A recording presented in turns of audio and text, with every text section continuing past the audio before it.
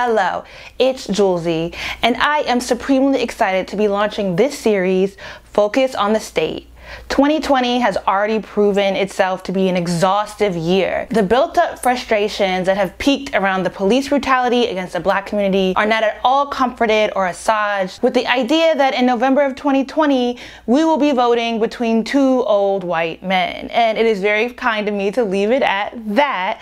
But yes, we know 2020 is an election year, and more than just the presidency is at stake. I absolutely understand being wary of the presidential election and every four years, suddenly hearing about the things this one person can potentially change. And for many of us, we don't really see the crucial benefits promised to us because the politics that impact us the most are our state and local politics. And so in this series, Focus on the States walks you through the pertinence of what's happening on the state, county, and local level, and that will address many of our concerns that have become national boiling points in the past week. In this interview, I sit down with Josie Duffy Rice, whose work with the Justice Collaborative and the Appeal publication has focused on prosecutorial accountability and criminal justice. We connect the web of voter suppression to the Ahmaud Arbery case. We discuss the systematic changes that would need to happen to make defunding the police a successful call to action. And overall, Josie drops so much important information on the tentacles of state politics and the criminal justice system.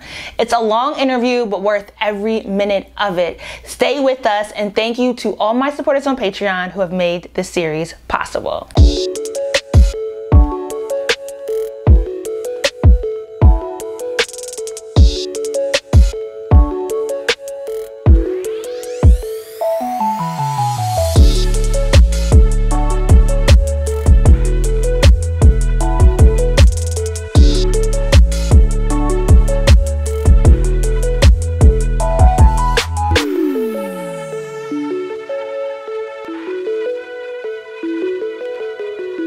Hey guys, so today with Focus on the State, I am interviewing Josie Duffy Rice. I'm just to get right into the questions and go ahead and start. So, I would love to talk to you about your organization, The Appeal, um, well, the publication, and would you be kind enough to explain to us what kind of journalism and projects The Appeal is producing? Sure. So, first of all, thank you so much for having me. I'm really excited to be here. Um, the Appeal is a outlet that produces original journalism about the criminal justice system primarily, and we've existed for about two years. Um, we've traditionally covered like mostly prosecutors, police, prisons, all of the criminal justice system, the things that really make it make it as big as it is, you know, that really cause mass incarceration. And traditionally, that's what we've covered criminal justice. We've actually recently started expanding a little bit because of the coronavirus. So we're covering more issues now, mainly about how coronavirus is impacting people who are what we consider to be vulnerable. So that's not just people in the criminal justice system, right? That's people who may be homeless or need affordable housing or are living paycheck to paycheck or um, you know, are are faced with eviction, are faced with healthcare issues, just all the various things that are coming up in the coronavirus and are exacerbated in the coronavirus times. We're really focused on that. So that's what we do, and that includes articles, but we also have two podcasts. Um, we produced a short documentary last year, and the second part recently came out. So we're really trying to get our hands into like every different medium. And then the last thing is we have a daily show called The Briefing, which we produce with Now This, which where we interview um, elected officials both on the federal level and on the local level about issues having to do with policing, housing, mental health, um, healthcare, all sorts of issues that um, affect vulnerable people in America right now. Yeah, so your name, well, your I know your focus on your work for the past couple of years has been criminal justice, but your your work comes up across the spectrum right? Anytime I'm looking up things yeah. to deal with the black community and like what are the politics and how are these court cases happening, trying to change public policy around it, you know, you you your work has consistently come up in the mix, which is why I was really excited to have this opportunity to sit down with you. So one of the places, which is criminal justice, but one of the places in which your work comes up, not necessarily in the frame that my audience might be thinking, is the Ahmaud Arbery case. Mm-hmm. Um, so there's a passage in Bryan Stevenson's Just Mercy where he discusses the different types of lawyers who handle the criminal case versus the lawyers who handle the civil case, and mm-hmm. how the mm-hmm. disparate interest of civil cases versus a criminal case can undermine the criminal case. Yeah. Um, and so, you know, especially currently, right, in this age of social media with Black Lives Matter and the certain certain people have more visibility than others, you're kind of wondering, okay, well, they're representing the family, but the court case goes differently, and we tend mm-hmm. to we might conflate that. You know, select players have had made their lane as civil suit lawyers to the families of uh, wrongfully killed Black people, and those are often the representatives who we see speak on television. A lot of my audience, I think, is likely getting their information from civil suit lawyers and so I don't necessarily have an exact exact question for this, but do you have any thoughts on the celebrity of civil suit lawyers? How that information might be different from the information that a criminal lawyer would be handing out to the public? Yeah.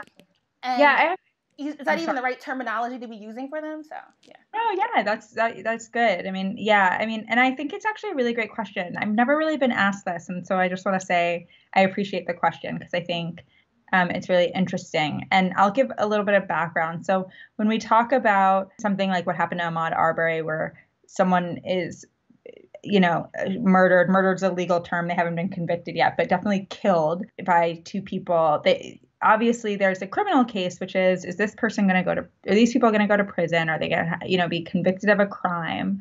But then there's this other part, which is you could sue them in civil court also to receive a settlement. Um, I think the probably the most famous example of the difference between civil and criminal cases would be the OJ case because he didn't get convicted in criminal court, but he did have to pay a civil settlement. It's harder to get convicted in criminal court than it is to be found liable in civil court. So it's look, don't go to law school. Don't don't don't spend all your years knowing. Oh, no.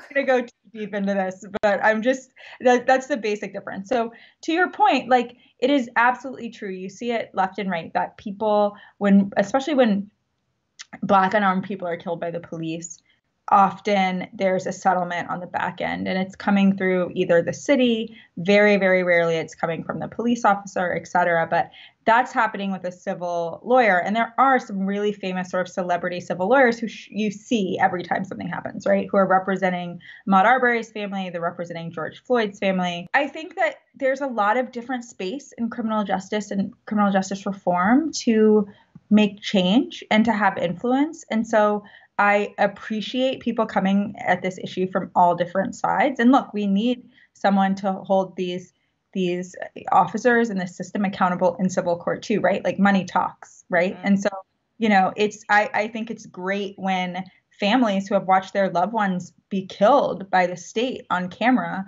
are are given millions of dollars. I think that's great. I think it's a different question than systemic change because we can keep doing that forever, right?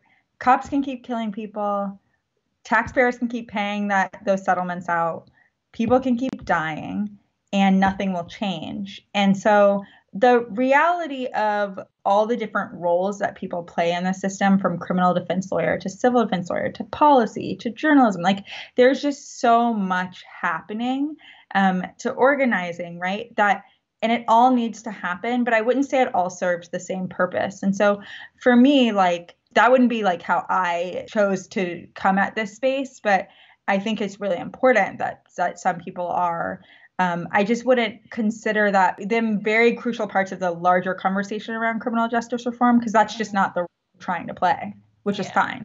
Yeah, because you know, I remember reading in Just Mercy when I read the book. I was like Bryan Stevenson, and I forget the man, and I saw the movie, so why don't I remember the man's name? It's like Walter something um, that he was representing. Uh huh. I'm right? I'm not gonna remember right now either, but I know I know I know who you're talking about. It's the it's the kind of main character in the story who ends up getting exonerated. Yes. Yeah, yeah. And Stevenson is talking about you know he was part of representing the def- well in this case you're representing a defendant right who's wrongly accused and the civil suit lawyers kind of wanted to expose more information but that actually harms the potential mm-hmm. for them to get the you know the what is it the ruling that they want out of the court case right right and so that's I mean, kind of what i think of when my audience is upset that i might not be putting out the same info. well not even just me but that i might not repost or that i'm kind of quiet or that they see certain information coming from these civil suit lawyers and feeling like that's what we should be talking about and it's not necessarily going that way with the case yeah, it's a really it's a really interesting point because it is very common that like especially I think probably in wrongful conviction cases that what's happening in civil court trying to protect someone's interest in civil court is just very different than trying to protect them in criminal court. And the appeals process is different. The standard um, the standard for conviction is different. You know like in criminal court you have to prove something beyond a reasonable doubt. When you get into civil court it's just more about probability right? And so it's complicated and it really depends on what a family's goals are and what our goals are, I think, and it sort of depends family to family. I mean, there are probably families, especially who have really, really um, suffered under police violence and maybe lost a family member to a to a police officer or something that maybe it's more important for them to get a civil court conviction and get a settlement than it is for them to get a criminal court conviction. And maybe they think that's more likely to happen. I, you know like it varies case variables to, yeah yeah, but it's definitely true that like sometimes those two goals just can't both really be met given the other goal. And I think it's really interesting that Bryan Stevenson talks about that because I don't know that most people think about these as different things. One is the settlement, the civil process, one is the criminal conviction. They're very different. So I'm going to move along and I'm going to kind of what might seem to my audience make a leap, but it's definitely connected to the um, Ahmaud Arbery case. So in 2018, you wrote a piece for the New York Times entitled How to Punish Voters, which details how Waycross Judicial Circuit District Attorney George Barnhill, I have braces, that was a lot, pressed felony charges against Olivia Pearson, an elder black woman in Coffee County, Georgia, for improperly assisting a voter. So, can you explain the particulars of this case and how it relates to voter suppression, and then why this is adjacent to the Ahmaud Arbery case? Absolutely. So, yeah, so I got um, information about this case from a friend a couple years ago who said there's a woman in South Georgia who's being prosecuted for voter fraud, and it's it's an outrageous story. And what happened was Olivia Pearson was a woman in her 60s, no criminal record, local city uh, councilwoman, and in 2012 she was at a polling site, and a 21 year old woman came in and said, This is my first time voting. How do I use the voter machine? Now, I live in Georgia. I don't know what the voting machines are in y'all states, but you get a little card, you put it in. It's like you have to, whatever. There, it's, it's, it's not, it's not complicated. It's not like you just, it's not intuitive. Yeah. No, you've never done it before. You've never, it's not going to make sense. Look, and if you take time out of your day to go vote, right? This is a young woman. Like she wants to make sure she's doing it right. So she asked, How do I do this? Olivia Pearson said, Oh, you go to the machine, you put the card in, and you make your selections, and you're done. That was the extent of their conversation. I mean, I'm paraphrasing, but Olivia Pearson never touched her machine, never didn't watch her vote, didn't tell her who to vote for. I mean, there was no even allegation that she did that, right? Years mm-hmm. later, four years later, Olivia Pearson finds out that she's being prosecuted for voter fraud. And they charge her with felonies that if she had been convicted would have resulted in 15 years in prison. And it it I mean to me it was just a mind-blowing case because it's the ultimate example of how we punish people for and black people in particular, black people um, people, you know, le- like people on the left, Democrats, like that's really where this, for, you know, this illusion of voter fraud. Well, that's what they're called. That's an example of what they call voter fraud, right? That this woman was told that this is how you use the machine and that's it. And if you read the transcript, so Olivia Pearson ended up going to trial twice. Um, they tried her twice for this, which is an outrage the first time there was a hung jury, meaning the jury couldn't decide, you know, couldn't make a decision. And so they tried her again. And that time she was quickly acquitted. But if you read the trial transcript, it's not like they were alleging she was trying to fix an election, she was trying to cheat. They, they just said that she couldn't tell a woman how the voter machine worked. The reason this is particularly important when we think about Ahmaud Arbery, and the reason it makes the Ahmaud Arbery case even wilder, is because the two men who killed Ahmaud Arbery, the McMichaels, one of them used to work for um, George Barnhill, who was the DA who tried Olivia Pearson, right? And that's one of the DAs who declined to bring any charges against these two men.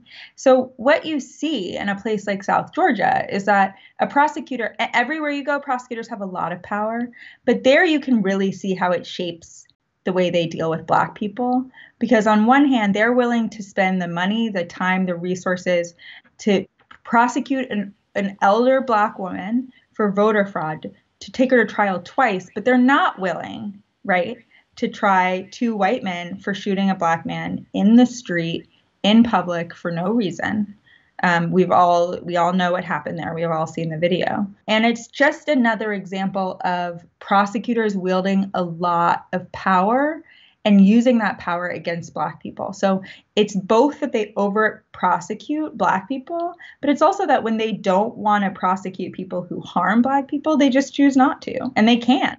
You know, like that's I mean, I would argue that's deeply, deeply, deeply unethical. And I guess he could be he could face like you know a censure from the bar or he could not win the next reelection but he didn't do the prosecutor didn't do anything illegal they're allowed to do that um, and it's it's deeply disturbing when you compare the case of olivia pearson to the case of the mcmichaels I mean, and I've read all this, and it's still like shocking to hear. Like I'm informed, but it's still even when you say it, it's just like it's such know, a grotesque use of the law.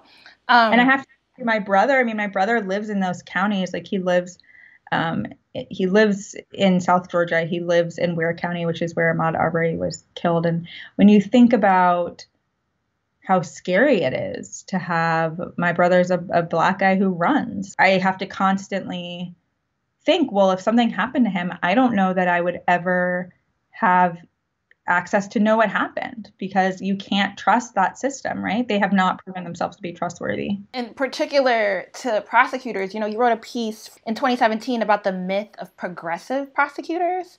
So while the article focuses on Manhattan District Attorney Cyrus Vance, you ended the piece with over a thousand prosecutors will be up for election next year in places like Dallas, San Diego, Seattle, Oakland, California, and Charlotte, North Carolina. That's where I live. Voters voters ought to make sure the people who win these crucial races are actual criminal justice reformers, not just people who they say they are. So even within South Georgia, right, these are still elected officials.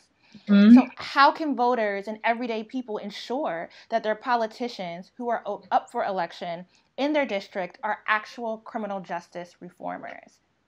Yeah, it's a hard question, right? And the reason it's a hard question is is for a couple of reasons. The first is that the criminal justice system is really opaque. So someone can tell you they're doing all the right things, and maybe they do all the right things in some cases, but to really know what they're doing is virtually impossible. Um, a good example would be look at a place like Chicago, right? Cook County. Now, Cook County is the second biggest county in America, right after LA. Um, and but when you look at Cook County, you know that they have 400,000 cases, about 400,000 cases that come in every year. There is no way for the average voter to know the circumstances of all 400,000 of those cases, whether or not the prosecutor made the right call, what evidence they had. There's no record of that, and we don't keep those records. We're not good at transparency in the criminal justice system. So, in some ways, like it's almost impossible to tell what your prosecutor is really doing and what the assistant prosecutors in the office are really doing every day. That being said, like you prosecutors run on platforms, right? And traditionally they run on platforms of being tough on crime. This is what prosecutors have done for 40 years. They've said, I will prosecute uh, people to the fullest extent of the law. I'll put people in prison. You know, this is vote for me. The way to ensure that we see a different system is to demand that prosecutors are calling for something else. And we have seen that in the past, I would say five years. There's been a shift in the way we talk about prosecutors and what we ask from them. And we've seen more progressive prosecutors elected in places like Philadelphia, Boston, San Francisco, Chicago, St. Louis, Orlando. Um, you know, we've seen that there's a possible future um, in electing more progressive prosecutors and people who reflect similar more similar values that to to a criminal justice reform platform. So the best thing you can do is check out websites like Color of Change, the ACLU, and my um, umbrella organization which is called the Justice Collaborative and look up what you should be asking for your pros- from your prosecutor. What what does a good a, a decent prosecutor do, right? And what do you want from them? And then you know they're responsive to the public and so if they understand that people are unsatisfied with a system that throws millions of people in prison every year they and they want to be reelected they're going to have to shift their priorities right and so that's that's the most important thing to do i'll just say one more thing which is that in that piece what i was really trying to get at was that there's also a very um, a very strong trend of prosecutors who aren't very progressive claiming they're progressive. And that's also sort of a new thing right? You see it left and right where people are like i started a department to check and you know and then when you look into it there's not a lot of there there. And you it's a lot of people doing the same i mean this is sort of happening in atlanta right now in my jurisdiction like a like a prosecutor's been here for many years doing the same thing he's basically always done and calling it different and so that's when i think it gets complicated because you want to be able to trust that what they tell you they believe in, they believe in, but they're politicians too, right? And we all know that you can't trust everything that comes out of a politician's mouth just because they're saying it. So it's it is definitely like a, a tough thing to evaluate, but luckily there are a lot of resources out there to help people kind of make these decisions. Yeah, and like as you were mentioning the whole tough on crime thing. So in a previous focus on the state interview, I interviewed my uh, state senator uh, Jeff Jackson, and he's been pushing for some sort of criminal justice reform within the state within the state legislature, which is difficult because we have I do think the mm-hmm. GOP actually has a super majority here in North Carolina. Um, and he like his some of the things he's trying to get past is something as simple as um, people on probation being able to apply for a driver's license because part of certain convictions they drive the driver's license gets revoked. Um, and that's been shot down as too soft on crime. So when I had a discussion with him, I had mentioned uh, the history of Michael Dukakis, the Democrat presidential candidate from 1988, and the story of Willie Horton. And uh, Jeff Jackson said that's actually become a kill, a political kill switch right? And that still holds sway in 2020 within elections about this idea that you can be too soft on crime will immediately lead to a similar story as Willie Horton. So, can you yeah. explain the semantics of the Dukakis Horton story and has that narrative been overblown? Yeah, it's interesting. Like, I was like one years old when the Dukakis thing happened. Um, and so I think it's shaped so much more of my kind of like experience. Like, in elections than I even realized. I mean, I obviously don't remember it, right? But it's it is um, a fairly like I was three. It, anything past Sesame Street, I don't remember, but yeah. it's so relevant I, even today.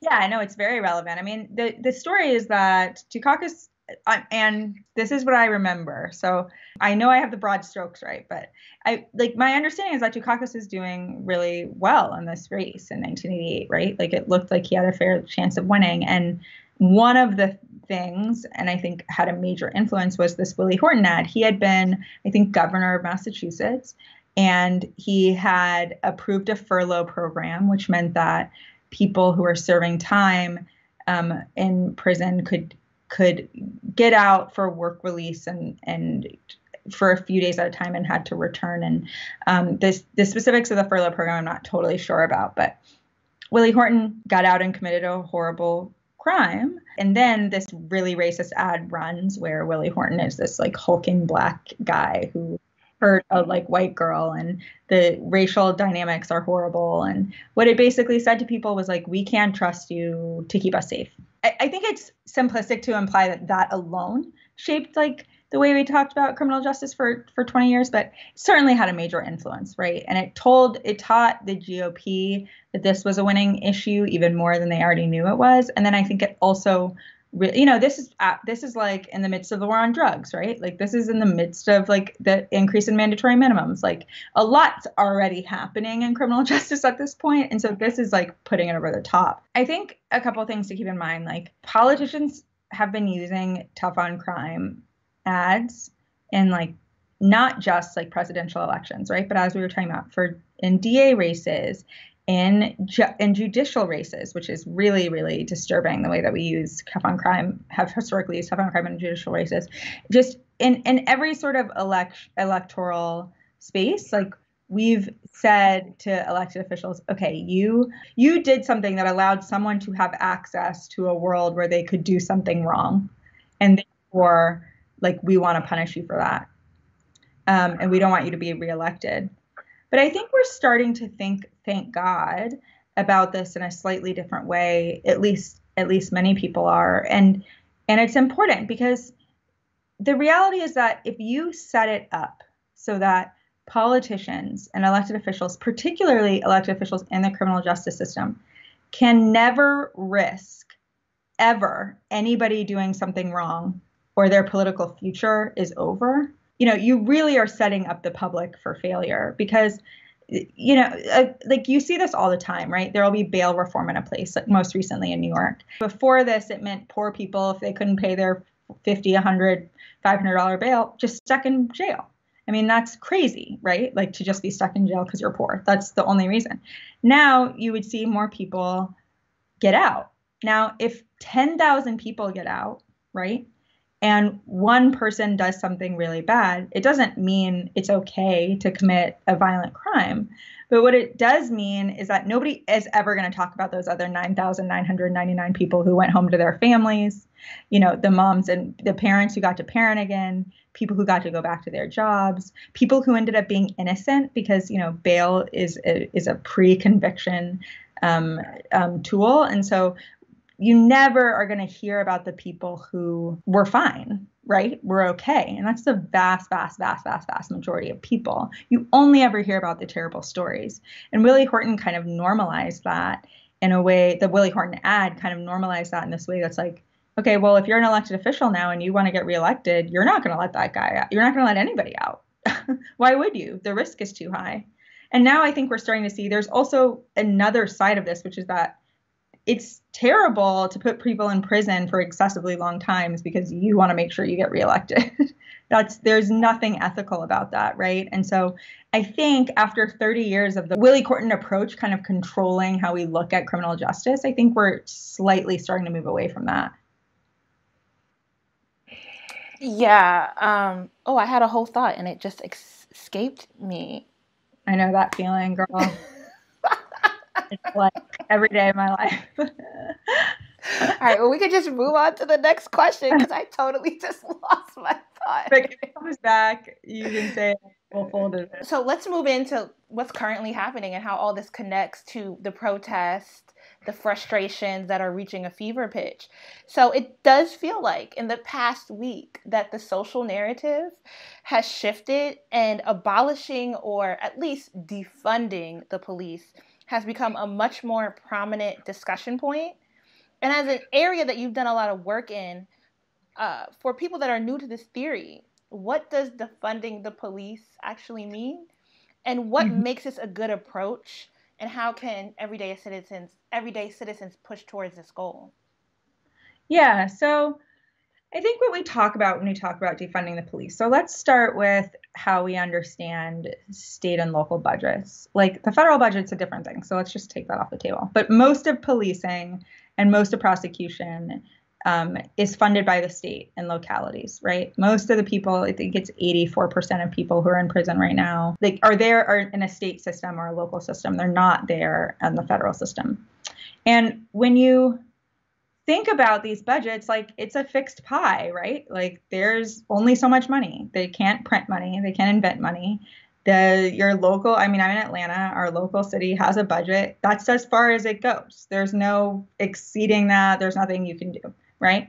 And in cities and, states across the country, but let's just focus on cities or counties right now. Like we're spending in many places 50, 60% of our budget on on on policing. I mean, like the really like like 30 to 60 percent is not a surprising number to see um, of what we're spending on our budget. That's that's you know that's the budget that pays for education, a lot of education. That's the budget that pays for your parks and rec, your social services, your garbage pickup, like city salaries, city like this infrastructure. Is a, yeah, you know, yeah. and a, and a lot of the South doesn't actually have social services. Right. You know, right. you can't get health care, you can't get food stamps, like all these things that allow people to, you right. know, you know, you're when you live in a state like North Carolina, when you live in a state like Georgia, like it's really hard for people to get the tools they need to survive. Minimum wage is too low. Like, you know, you can't, like you said, it's hard to access like food stamps. It's hard to access social services. It's absolutely like you, there's no health, there's no like meaningful universal health care in a lot of these places. Or and, even like an after school program for low income kids or like summer camp programs like in exactly. Charlotte, summer camp is really expensive, and there's not a lot of programs that subsidize the cost of summer right. camp. Yeah, um, and that's something or that would be in the sick leave or paid family leave, or you know, like I'm having a kid in three months. If my office doesn't give me maternity leave, the state isn't going to help me make sure that I can be paid for time off, right? And so, and these are places that they cut the budget nonstop for all the things we just said healthcare budget cuts education budget cuts Parks and Rec budget cuts. I mean, like you see the actual effects of what happens um, in times of budget cuts, and I think particularly right now in pandemic times, right? Because states, people are millions and millions of people are unemployed. They're not, you know, bringing in the income that helps pay the taxes in the state, and when they're not bringing in income to help pay the taxes, like the state doesn't make as much money, and they have to cut the budget.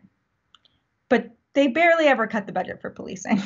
they barely ever cut the criminal justice system budget.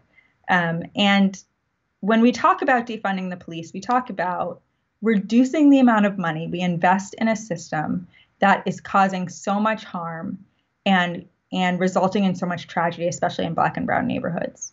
Reducing the amount of resources we're giving the system and figuring out how else we want to spend those resources. If you take 5, 10, 15% of the policing budget and you spend it on schools or you spend it on after school programs like you said or you provide people health care or you you know spend it on jobs right you'll see the need for that policing money to go down anyway because we know that when you provide people the tools they need to live a dignified life when you allow people an opportunity to feed their families work a meaningful job um, you know, take care of themselves, you crime goes down, right? I think that the two other things I'd mention are this. One is that crime has been going down in this country for like like years, like decades, right? I think crime's been going down for about on and off for about like 15 years now, pretty pretty consistently, and it's lower now than it's been in like 50 years. So but if you ask people if crime's up or down, almost everybody thinks it's gone up. It's just the nature of the news media that harps on anything bad that happens, which makes you think someone's going to come and break into your house in any second. It's the nature of um, you know, the way that we talk about crime. And when you think about policing budgets, like we've seen crime go down, but we've seen policing budgets go up, and that doesn't really make much sense. We don't need, you know, they used to say that we needed. I don't think we needed it back then either, but we certainly. And are cops even really solving cases? I think like the I don't know what the technical term is for it, but like the percentage of cases that are actually being solved. Yeah, that was low. the next actually you read my mind. I love it. That was the next thing I was going to say, which is that the other thing that's crazy is that cops aren't doing a very good job at their jobs. That now look, that could mean a lot of different things. I don't want to say I'm not saying every cop is like shirking on the job. What I'm saying is that they either don't have the tools that they need or the ability to focus on what actually matters to get you know to do their job well. And i think it's also a reflection of the way that they've that american society has lost trust in the cops. So if you're in a city like um, i was just talking to someone from baltimore earlier this week. In a city like baltimore which has 300 homicides a year and has had 300 homicides a year about every year for the past like four or five years al- alone cops solve about a quarter of those murders. 25% right? That means 75% of people who are murdered, we don't even know who did it. Those people are still walking the streets, apparently, right? Um, they solve about like 40% of reported property crimes. They solve a very low number of rapes. And so when you when you think about what you're paying the cops to do, they're not actually doing it that well. And part of the reason they're not doing it that well is because we're paying them to basically run over protesters on the street.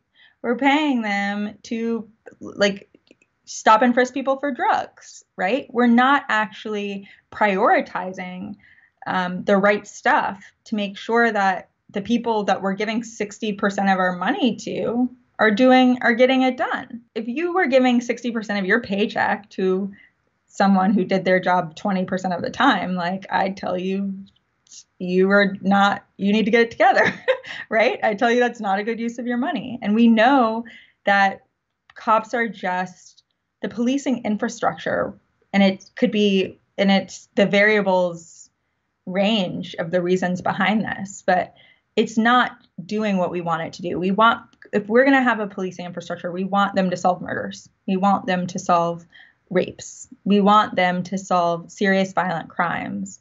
We don't want them to put a whole bunch of people in prison for low level drug offenses and solve a quarter of murders. That doesn't make any sense. I just did a video on how outrage is a profitable social currency.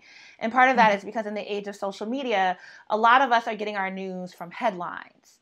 We're not even clicking on the story. We're getting he- and so now a lot of journalistic outputs are focusing on headline packaging. So the mm-hmm. article might actually give more information that changes the narrative, but the headline is meant to not only grab your attention, but to evoke an emotional reaction. And so, mm-hmm. particular to this tough on crime narrative and the necessity of tough on crime because, oh, this one person might come into your house and kill you, is that oftentimes these, these stories of somebody, is, is the correct term recidivized? For someone who mm-hmm. came out of jail, somebody who might be recidivized, uh, committing another felony. But no one's going to mm-hmm. read the story to actually read the particulars of what even right. made that possible. So, like recently, there was like a woman who forgave her mother's killer, hired him, and then apparently he killed her. But you know, all you hear, um, like, and it's all it was like all over, the, you know, my timeline. You know, well, mm-hmm. Facebook is a little bit different from Twitter, but it was all over Facebook, right? The regular folk. And so I was like, you know, I actually read the article. I'm like, oh, well, there were there are all these other things that are happening that made that possible, right. past the idea that this man was ever released.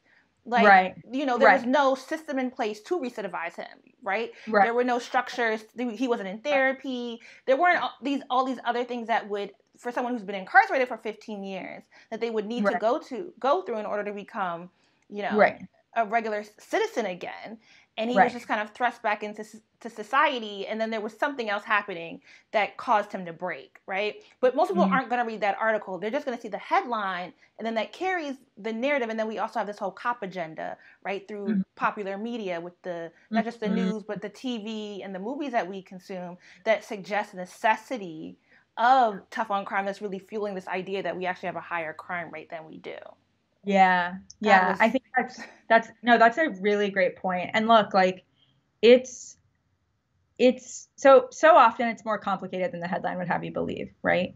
So often like the headline kind of leaves out the system's complicity or perpetuation of this of the, of the of someone's bad behavior. So like you said, like we don't build prisons to rehabilitate people. We build them, you know, we convict people of crimes. We tell them they've they're they've done something bad. They're bad people. They have to go to prison. And then in prison, we treat them and expose them to, you know, no meaningful services and a hell. I mean, it, prisons are hell, right? And then we expect them to come out and be have everything be fixed, which is just not how anybody works. It's not how people work. It's not how animals work. I mean, we know enough about behavioral science to know this is a predictable reaction, a predictable result of of the system we set up. But I also just want to point out that like there's another thing here, which is that it's tempting, I think, for people who work in criminal justice change in particular to imagine that if we gave everybody everything they needed,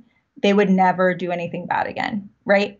And the truth is that people are complicated. Like the United States has almost 400 million people in it. And it would be silly to imagine, to tell ourselves that, okay, we could set up the perfect government system and nothing bad would ever happen again, right? We can't make policy based on the worst case scenario. And that means that like we we live in a world with a little bit of risk, right? Um, you know, what I always say to people is there are places with very little civilian on civilian violence, right? And those places um, either are providing people with a ton of resources that they need to be, you know, I'm thinking of places like Iceland and but then the opposite of that is like a place like North Korea. Like you could live in North Korea and there's no one's going to like steal from your house because the punishment for that is so drastic that they're not and do you want to live in north korea no you don't because you want to be you're always going to be balancing the risk of living in a healthy free society and the potential that something could go wrong and we can't expect the system to ensure for people that they were, are totally safe they're never going to be totally safe that's imaginary I mean, it's totally imaginary. So, you know, I do this work every day. Someone could break in my house and kill me tonight. It's almost impossible that that's going to happen because that very very very rarely happens but if you're there's it's not a 0% chance because you can't get to a 0% chance right. um and to you know, your point, like an over police state, it's like is crime really not happening in an over police state, or is exactly. it just not being reported? Because you'd have to imagine that intimate partner violence is still really high. Things exactly. like rape are still occurring, exactly. child abuse, like abuse, is still occurring on some wavelength. Right. So it's not that you might you might not do things to people outside of your community, oh. right? Yes. But that doesn't actually cure violence. No, I think that's a great point. And I think, you know, one of the things, so to my point about the low clearance rate, how few crimes are actually solved, a very few number of crimes are even reported. We don't, like, not every time that someone gets their car broken into are they calling the cops. Not every I know time. they're useless. yeah, they, I mean, I wouldn't like a knock on wood. Nobody come and break into my car, please. But like, it's like my point is just like, I mean, like I remember growing up that like someone in our neighborhood when I, when I was growing up in Atlanta, my mom's car got broken into like repeatedly. That's like status Atlanta. Like you move to Atlanta, you know you're getting robbed. not to be rude, but like everybody knows. The cops could have come and they could have taken the report and like whatever, but we didn't do that. It just wasn't we you didn't think that there was going to be any result. First of all, I mean, this is like when I was a kid before I even had a theory of criminal justice change. Like there wasn't going to be any result. And if you know that the system is so harsh, right, you're less likely to hold people accountable for wrongdoing through this system i think you know and to your point about domestic violence like this is something we see all the time. Like if you're in an abusive relationship there are very few avenues for you and people say call the cops. Well you're in a relationship with someone and you don't trust the cops. And if we're not creating a world in which we trust the people who are supposed to keep us safe we're in trouble because they're not going to even know what's happening. I mean the estimate is like 30% of of violent crime i think it is is reported. That's the estimate. I mean it's very hard to know that. And even less of property crime. And think about drug crimes. Like you know what 1% of drug crimes are ever like much less than that? We are you catch your kid smoking weed in their room you're not going to call the cops right? Like you so so much of the way that we deal with criminal criminal criminal activity anyway is is inner community. It's not systemic. And so the fact that the system has been able to cause this much harm renders it even more important to defund it when you realize that we're already handling a lot of this ourselves. What's the difference between the call for defunding the police versus the call to abolish the police? Yeah, I think um, it depends on how far people want to take it. And I think I'll, I'll, I'll put it this way. I think the defunding conversation right now has focused mostly on look how much money we're spending on cops. Do we need to be spending this much money? Are they doing their job? Let's spend less, right? It's pretty practical, it's pretty tangible. It's kind of like look at the numbers, like here's like this is ridiculous how much money we're spending on people who are ineffective. I think the talk about abolishing police is a little bit bigger, a little bit more transformative and a little bit more bold. And when we talk about abolishing the police or abolishing prisons, we're not talking about tomorrow, sh- you know, shutting them all down, ending this system overnight and calling it a day. What we're saying is that we want to spend government capital, and I mean that both political capital, economic capital, um, social capital, on creating a world that doesn't need this system we don't have to live in a society where we see a ton of violent crime. We don't have to live in a society that allows for rampant domestic abuse. We can create a world where violence, where where what we consider to be crime, where abuse is virtually non-existent. That is possible. And it's only possible if we if we understand the system from the front end and we think of it as a system that creates the tools that we need and provides the tools that we need to live dignified, stable lives. This is going really, re- way past the criminal justice system. It's about getting rid of a society that's so misogynistic, right? It's about getting rid of a society that's racist. It's about getting rid of a society that's classist. It's about really reshaping our values at a very basic level. At that, you know, when you think about that world, you can imagine a world where we don't have prisons. You can imagine a world where accountability is handled in different ways. And so people, you say abolish police, and people are like, or abolish prison, people are like, like, what am I going to do? And I totally get that instinct. It fe- it sounds like, okay, yeah, sure. But what we're saying is that there is a world that we can that we should be working towards that renders these systems obsolete and it's not just that these systems aren't working for us, right? But it's that these systems are tied into every other system. And if we don't provide the resources we need to to deal with those systems, we're never going to have what we need to deal with to deal with this one. And so, you know, it's it reminds me of the way we talk about truth and reconciliation or other tools in which we are asking people to be accountable to the people around them versus just be accountable to the state. Yeah, and is even talking about whether we say we want to defund the police or abolish the police is is that enough? Like is that the only system we should be looking at? And like what other systems do we have to consider when we start talking about the militarization of the police the racial disparity and how police deal with different communities yeah, I mean, Jouelzy, I'm writing a whole book on this, so uh, you and you are like, I'm uh, very impressed with how quickly you got to the thesis. But I think it is, um, it is, no. The short answer to your question is no. I mean, the criminal justice system is part of the problem. It's not the whole problem, right? It's just not, and we are using it as a band aid, a band aid that ends up causing its own enormous level of harm, but to not deal with the fact that in America right now, we do not provide people with the tools they need to live a stable, again, a stable, dignified life and to treat other people with stability and dignity.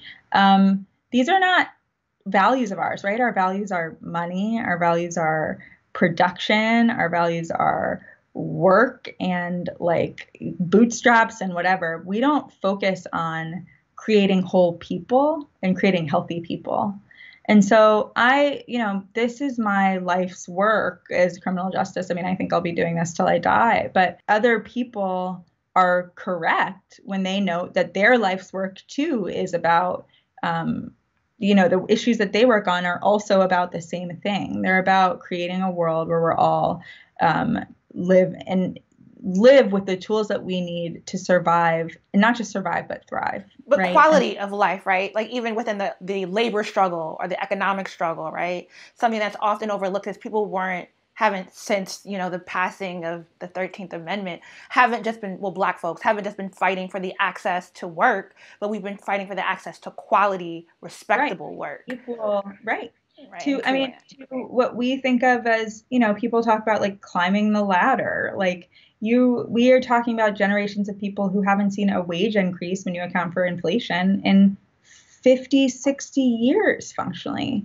Like you used to be able to feed your family on one salary and send them to you know school and go to the beach once a year and now people can't pay one bedroom rent. I mean the the world that we have created on basically every structural and social level is harming actively daily causing tra- traumatizing black people brown people immigrants poor people people in rural areas. I mean it, co- it covers so many different different places. And, and and there are many sort of reasons for that but ultimately the point is like if tomorrow I snapped my fingers and the criminal justice was fixed, like we couldn't be like, oh, okay, there we are. Like we have solved America now, you know, because all of this is related to who we are kind of more fundamentally. And that's that's what I'm writing about right now is, you know, what do we value? What do we value? Yeah, and so I want to take it back because I actually skipped over a question. Well, I skipped over two questions. Okay. But judges, you mentioned kind of when we were talking about the Dukakis Horton story about, mm-hmm. you know, do people even, well, this wasn't the frame you were re- referencing it, but I'm thinking, do people even realize that judges are elected officials? And oftentimes now in the age of social media, we think about do we even think about judges one but we might think about the court cases because you know we saw a tweet go viral about a court case at ldf or the lawyers committee under civil rights law you know uh, with like in north carolina the congressional map has been in the state courts right or vo- various voter suppression laws because that's been a hot topic in Wisconsin, well, battleground states, so Wisconsin and North Carolina. Um, but realizing that the people that are putting bringing down these orders are elected officials as well.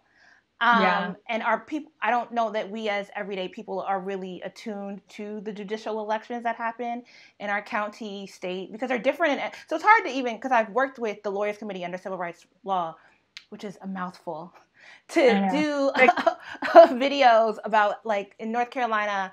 I think in like the Eastern District, they were trying to ele- um, have Thomas Farr appointed mm-hmm. to the mm-hmm. federal courts, right? Um, but even that to get to that point of someone being elected to federal courts, they've well in the past prior to Trump, they at least have been elected to a judgeship. Right. Uh, and even realizing that we have a hand in that it's kind of hard to talk about because every state has a different like the way they do judge elections in louisiana is quite different from how we do yeah. them in north carolina. So it's hard to really provide information that everyone can just go home with.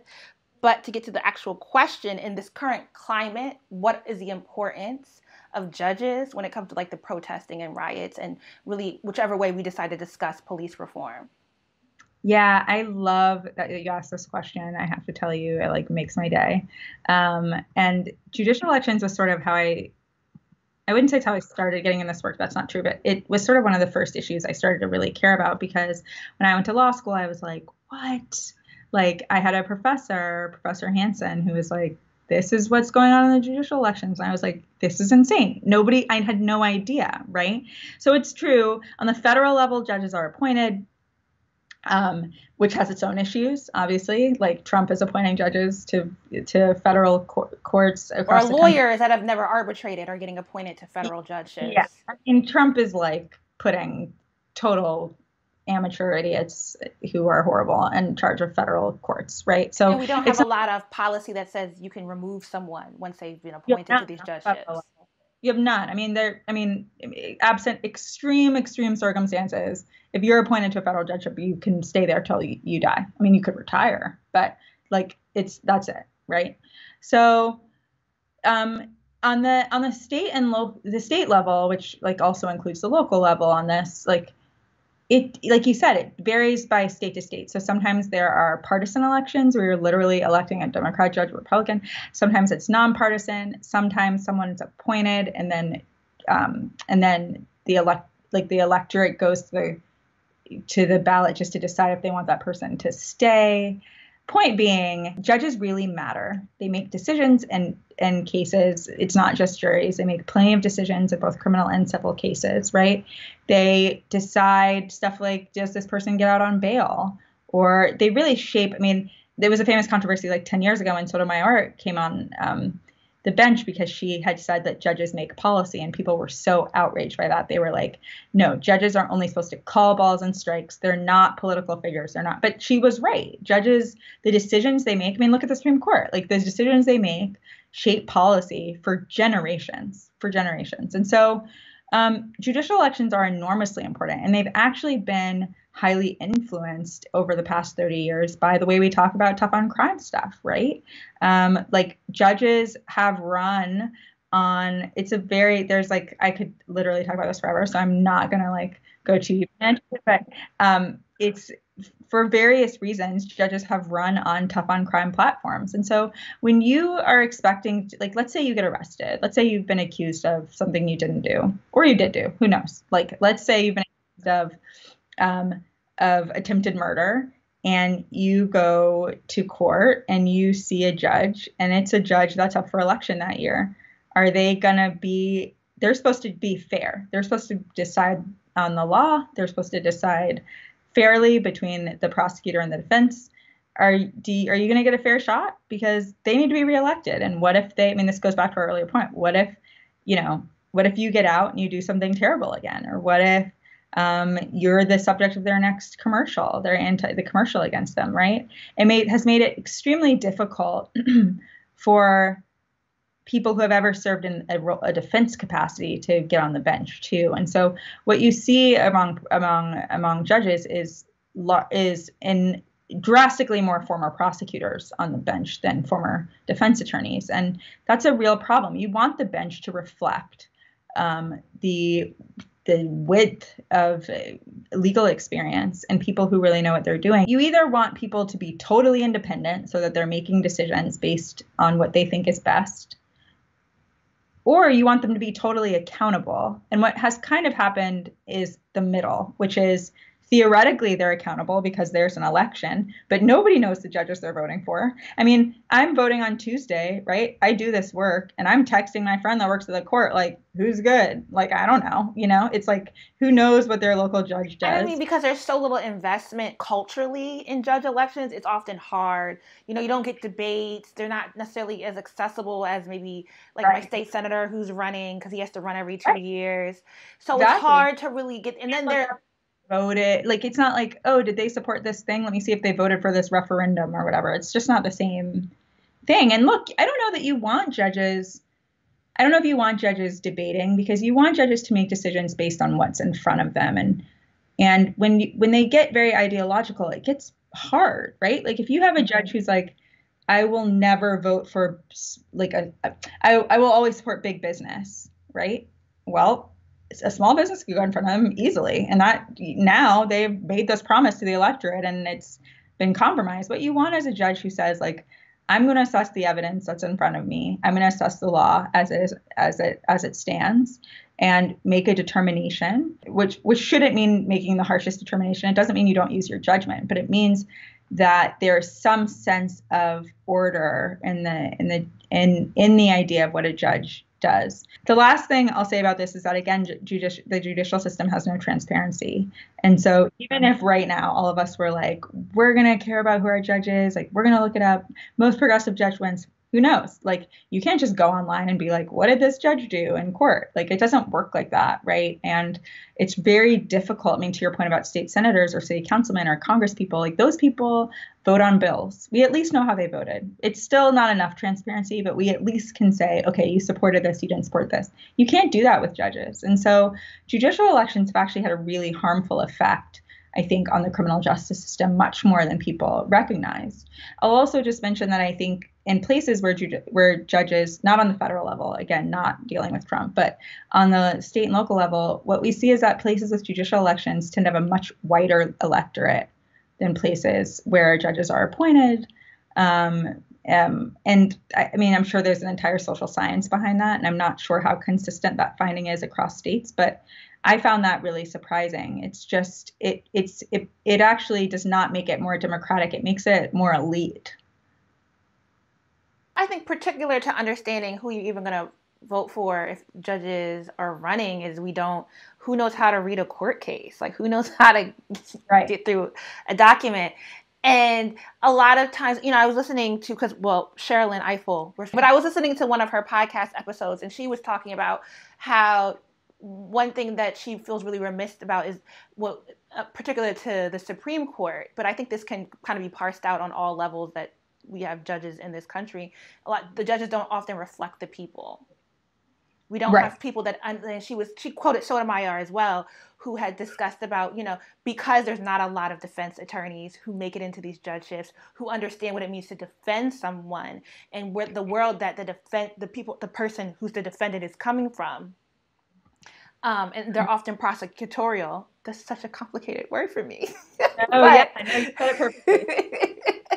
but that Perfect. they don't often relate to the people. And so we as you were saying, some of the harm that's been done, particularly to criminal justice reform, is, you know, are, we're getting a lot more prosecutors, we're getting a lot more, you know, older white men. And do they really relate to the, the issues that put somebody in their court in the first place? Yeah, so that's it huge issue. And that's actually true for the whole parts of the system, sort of like you said. I mean, most prosecutors, for example, are white males, most elected prosecutors, right? I mean, the, the vast, vast majority. I think probably right now, I mean, I probably know of, I'd estimate maybe there are like 10, 15 elected black women prosecutors, maybe nationwide. Black. You know, and I think this is reflected in, in all of the sort of elements of the system prosecutors, judges, et cetera. And the the a famous story about this in 2017, the Louisiana Supreme Court had this ruling that's become extremely famous in criminal defense circles and criminal justice reform circles because uh, a guy was arrested and he um, was being interrogated. And when he was being interrogated, he said to detectives, "Just give me my lawyer, dog." He said, "Give me a lawyer, dog."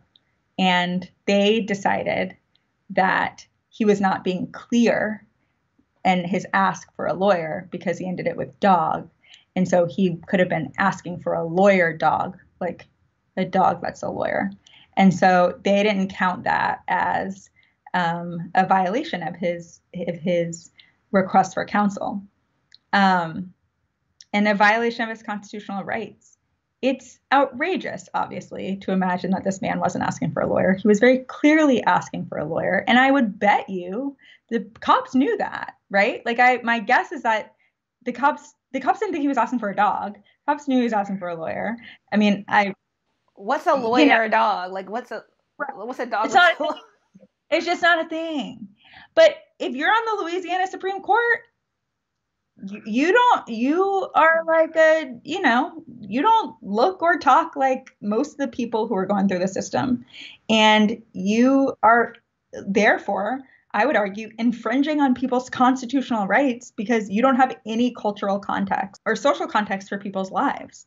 Um, and that means i mean the lawyer dog story is so crazy but what's what i think it's reflected in even the stories about people being shot by the police right? There are serious disparities between how the system sees people, how it understands people, and who fills the system and who's going through the system. When you have a system that's processing and putting away black, brown, and poor people, but the lawyers and the judges and the people in the system are um, rarely black, brown, and poor, you face a cultural divide that really only ends up hurting defendants. Yeah, but man, that's really, really relevant to like uh, so many things. But um, to take it back a little bit, we've talked a lot about prosecutors across every realm that we've covered.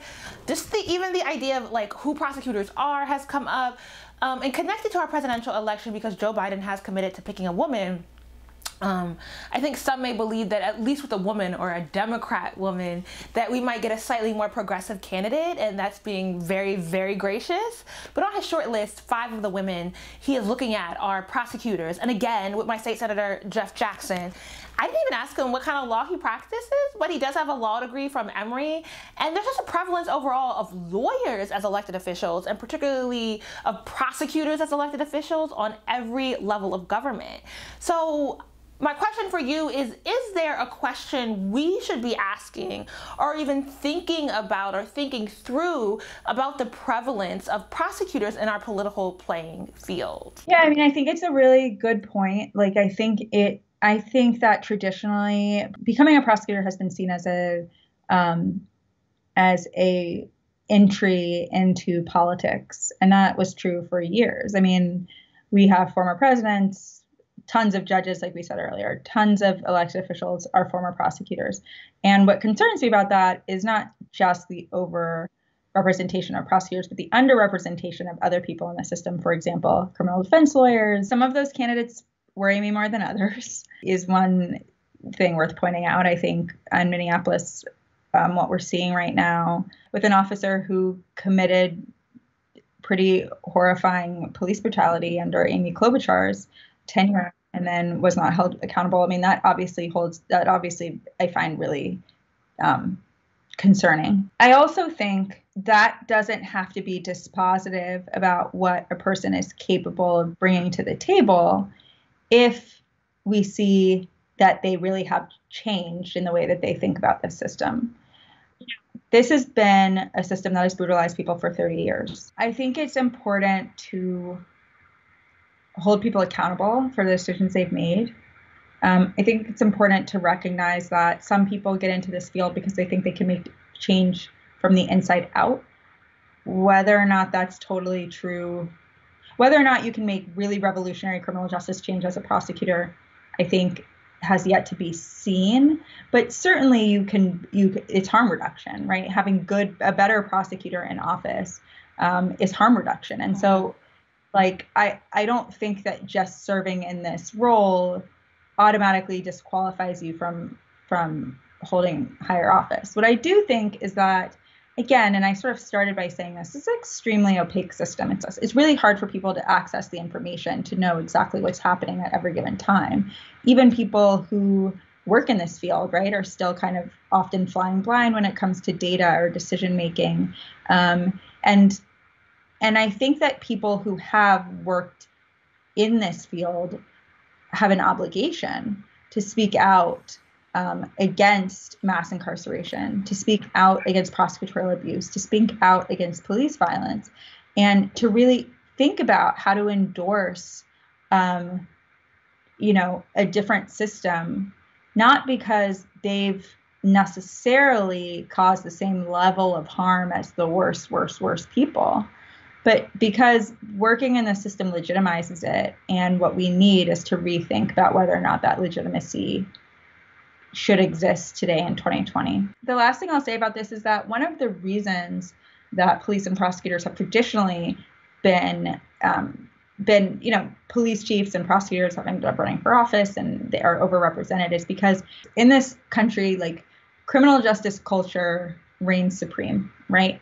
It's the cop shows, police worship, and then blue th- the thin blue line, and the entire narrative around criminal justice has been that these are the public safety heroes keeping us from a daily life of chaos and destruction.